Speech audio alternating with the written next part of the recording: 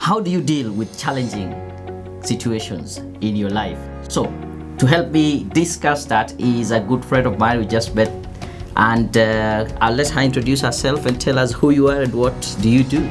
Thank you very much, Daniel. My Right. name is Rechael Mbugwa. I am a psychologist Okay. or counseling psychology, and I help people walk through the hard challenges. So, dealing with hard uh, challenges, these are things that happen every day of our lives, Right. and most of them are losses. Because uh, you may lose a job, lose a child, lose a pregnancy, uh, like a re- uh, the current situation, the pandemic, the fear. So those are day-to-day losses that you've encountered. So I help people walk through those losses, Yeah. and they come out stronger and better. So, um, at what point did you decide, I think I want to venture into this field, I want to go out there and help people? I know you run a YouTube channel called Heart Hearts. Um, how did you get started? And uh, yeah, Helping people for me is a passion. Is also what I'm trained for, but it just didn't start now. I'm a trained uh, computer engineer. Okay. Did that for, for five years, then later realized I think I need to pursue my passion. And uh, this passion is helping people cope with day to day challenges. How I started that is going back to school. Before education, I used to help people just the way you find a friend of yours is in a problem and you want to come in. How, what can I do? My relationship is not working. He told me this or she told me this. And uh, just to give a direct or a better way, I had to go back to school. So I went to school and studied counseling psychology, and I got a better perspective of how are the problems handled and how is it that they affect people differently. And it is in that I, uh, I allowed myself that actually the best way that I can be able to help this is to give them a platform. So there is the one-on-one counseling, there is the group counseling, there is a training, like preparing people that are getting into marriage, we call them premarital, or people that are already in marriage and they are having challenges, we call it postmarital. Bridal showers, where young ladies are not prepared for what to expect. So there are also the corrective measures where you're in a problem. Currently, you've lost someone, we help you through. There is preventive, like you're preparing to get married and you don't know what to encounter. Instead, for us waiting for you to divorce, for us to go through counseling, we do preventive measures. There is also uh, trauma something has happened an accident and you've lost someone and how do we help you in this? So all this platform you mean we we have those variety of activities that can help people uh, be able to cope with various situations or prevent an occurrence of such happening that people will be more equipped better knowledge that they will be able to handle that situation. So other than that in our today's technology, you cannot use just one channel because as much as I would wish to reach to so many people, I can only reach to the people around me. But with, an, with the technology, you can be able to reach so many. So that's how I came up with the idea of doing a YouTube channel, have a Facebook account, and giving all these products that actually you don't have to reach me from your area of residence. I can give you a call. We call it telephonic counseling we can chat that I'm feeling suicidal. What is it that I can be able to do? Is also being able to give these services to the people at an easy reach that you can be able to get this help. So that's why I started a YouTube channel, Right. more so for informative. Some of the cases that we get during counseling, they can be prevented, and some was lack of knowledge. For instance, children are becoming indisciplined because they have encountered a divorce. But when you go through counseling and you're able to understand, it is the way the children were handled during the separation. Either they were used as a tool for communication, go tell your father, um, go tell your mother. So the disconnect was created, and because the children are hurting, they become indisciplined, and the parents are wondering, please talk to my daughter. She's not performing in school, but you don't know there's an underlying issue of how that separation occurred and how it was handled. So it is through this platform of YouTube channel, Facebook, that I use it to educate and to help people get to learn that actually you can prevent some situation or if you hear what happened to someone else, you will be able to learn some skills. And I'm very sure if you are informed, you will be able to get that information to the person in need in a very correct way. For instance, if a friend of yours come and tell you, "I'm going through a divorce. What should I do?"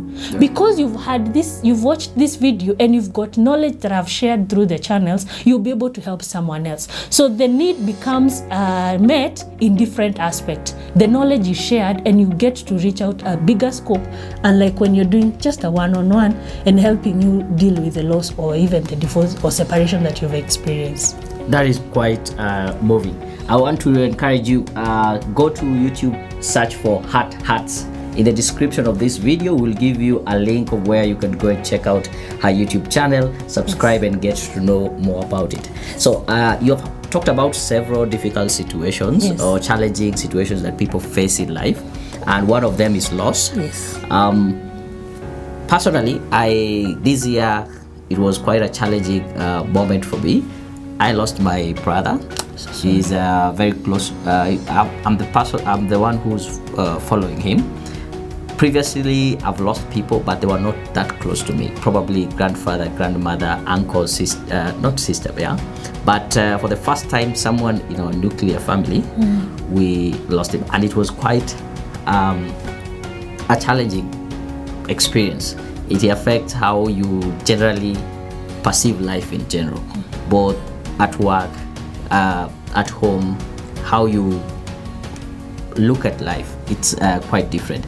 I don't know, is it the same thing that happens with most people? And what would you advise as the best way to maybe go through such a loss? I'm sorry, Daniel, for your loss, but these are things that happen to uh, every day. And when we say losses, there are different kind of losses. Someone may have lost a brother like you did, and I'm sorry for that. Other may have lost a pregnancy. Another one may have lost a parent. Another may have lost a job. So we call them all losses, and people experiences these losses depending on different uh, personality. There's someone who will cry cry out. There's someone who will close doors and doesn't want to be to, to share with anyone. And most of this challenging situation find someone in a very humbling experience in that that you cannot explain what happened or what is it that would have done differently to change the situation. Unfortunately, most of the people do not see it as a need to seek for help. Why do I say seek for help? People will say, let's bury, sorry for your loss, and like life moves on. But in the actual sense, life does not move on. right. Inside you, there is a loss you've experienced. Inside you, there is a heavy burden that you're carrying, things that were said during that season. So why are you crying? He's just a brother from an ignorant person who didn't know the intensity of those words. So you'll find during that loss, there is the loss of your loved one, but there's also the words that were spoken during that period, the process. Maybe it's a boss and you ask for permission to go for the burial and you ask, Why should I give you five days? It's just a brother, just go three days and come back to work. Yeah. They do not understand the intensity or the heaviness that is within your heart. And what should people do during this time? I think the same way you get headache and you think of going to the hospital, it is the same way I would advise people get to reach out to a counselor. And I am a counselor, and you can reach out to me. And I think in each and every area, you'll be able to get either in a church, you'll ask for a counselor, they will provide you, depending on where you are. Reach out for help. And even if you're not able to reach out for help, I know there is a best friend that you can confine your information to and tell them, I just need to sit down and tell you what I'm, I'm feeling share out your frustration. Actually, you know, my brother was sick, and during that sick season, I visited every day, or I was not able even to visit my mom, depending on what loss you're referring to. Right. Have someone that you can share with, and in this sharing, you'll be able to express. And we say in sharing, you're relieving the pain within you, and you're sharing it with. We always say a problem half shared is halfway solved. Actually, I just wanted to ask how true is that and how does it work? In fact, therapy works in sharing. We do not give people uh, medication until, uh, unless it's a psychiatric case. Okay. So, in, in counseling, it's just sharing, where we sit down and I ask uh, and, and I ask you, please tell me what is it that is going within you, and you'll be able to tell me, I'm feeling frustrated or I'm feeling angry. Why are you feeling angry? This is what my wife did, or this is what I'm experiencing. This is what my boss told me, and that is the moment that you express your emotion. Let me share you some something with you that is very intriguing in this aspect. Yeah. When you're happy, do you hold back laughing? No, you don't. you laugh out. Yeah. You don't care what people will say a- about you because it is excitement that is within you. Normally, what happens, it is the excitement that is within you that is being released outside. So the emotion of excitement is released, but when you're sad, Yeah. do you cry out? Most of the people, especially men, what do they say? Men don't cry. Yes, yes. You don't show your emotion. Even when you're angry beyond, you rather close your mouth and walk out. It is not healthy. Emotions are not meant to be stored in us. They are meant to be expressed. And in African culture, we have a weakness of suppressing the negative emotion in us Right. and expressing the happy ex- emotion outside. What eats us is because the negative emotion bulge inside, and what they give birth, they give birth to anger. Anger accumulated give birth to bitterness. Bitterness accumulated give back to depression. Depression, you start now picking things that you're not able to. Like you see tunokota makaratasi. Yeah. It was birth from ananga anger. Okay. An anger of an emotion that was suppressed. So the sharing, it's for real. It- Problem have sho- uh, shared, it's half uh, solved. And the crying bit, how does it help? As in, I think your measures a bit about it, but um, I find it. Do you need really to cry or shed tears? Per se, let's talk about the tears. Yeah. Actually, it's not the aspect of shedding tears that matters, it's the aspect of expressing the anger. Because the reason why you find a child crying, they're not crying because they're excited, they're crying because there is pain within them that is expressed in terms of. So, if you can be able to express your pain out, either in words or in tears, it does not matter. As long as that pain does what? Get out. get- So there are some who will cry, true, but there are some who will not. But you, the same way, let's take an example of a child. You can be able to tell a child that is sad even if they are not crying, true, Yeah. because there is an emotion that they are expressing. But you can still be able to tell a, a child who is crying that they are sad because you can see tears. So there are different ways of expressing. It's just that some will express in crying, others will express by the facial by expression. facial expression. But whichever way it is, whether you cry, as long as you're expressing those sad emotions out, you're healing yourself. Because uh, anger and those sad emotions are like cancer. They eat from within, and you think you're whole, yet you're crumbling from within. I hope I've answered. Yeah, thank you for that. Thank you for that. I know you have dealt with several cases. Probably you can share with us which is one of the most common uh, challenging situation that people go through, and uh, maybe to tie that with something that people don't feel like they need to seek help for, and it ends up eating them or getting worse uh, as time goes. Uh, with, with the many cases that I've interacted with, death is one of the major unplanned and anticipated cases that you'll find. Most often, you'll find uh, someone have lost a daughter or have lost a brother or a husband. They will mourn, and especially in our African culture, people will come together in the house, comfort you, walk with you, even help you plan the burial. But after the burial, they hardly show up. And what most of the uh, clients do, they hardly also go to seek help because they feel like I've tired so many people. They were here during my my my my loss. They were here during burial. They were here during the mourning. Why should I bother them? So most of them don't think it's an issue. So they like they want to resume their norm.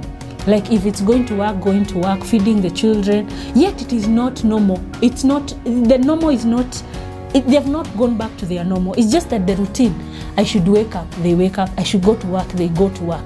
And they have not dealt with the loss. So those are the common cases. And most of the, the reason why it is uh, it is so hard is because some of them are not anticipated. So even if someone was sick, you are hopeful that they will get well. So some are accident. It was not something that you knew, and they are sudden. So you will hear so and so has just passed on. What happened? So m- most of the cases that you'll find is the loss of loved one, a close friend, or a relative, or someone that you treasured or loved. Okay. Now, how then, to, to, to answer your question, how then will they be able to get help? It's just that I think community will be more accommodative, that as much as we think the barrier is done, we should not rush them into recovery. Like, no, you should give out their clothes or you should shift the house. Allow them go through grief because grief is a process. It's not a one day occurrence. Allow them to. And the other thing is that we should not disappear all of us. The fact that we've been there through the burial, the morning session, let's even if it's a family, let's plan that someone else will be will be with the person that I've lost uh, for a given time. I love the way other cultures do. Like they would do a burial today, but they will ensure for the next 30 days there is always someone who comes to view or to visit. Like if it's a person who've lost a husband, the family would ensure that every evening there's someone visiting the person and sitting with them and getting to, to allow them to share and even help them in do one, two, three. This process helps them in recovery, that they're able to pick up their pieces too. Two, I would advise that people feel free to seek help it does not hurt just reaching out to a counselor to help you get to know walk through this process of so that's what i would say Thank you very much. I think uh, you have also covered like the what I wanted to ask next about what would be the general advice, uh, be to people who are going through such a situation. But um, all in all, there are different uh, challenges that we face in life. At Career Point Solutions, mainly we help people who are looking for jobs, and these people probably they are just fresh graduate, as someone who has lost a job. Probably, what would be the general advice um, to someone who has lost a job? I know we have talked about much about uh, Dell, and um, yeah, what would you give advice in such a case?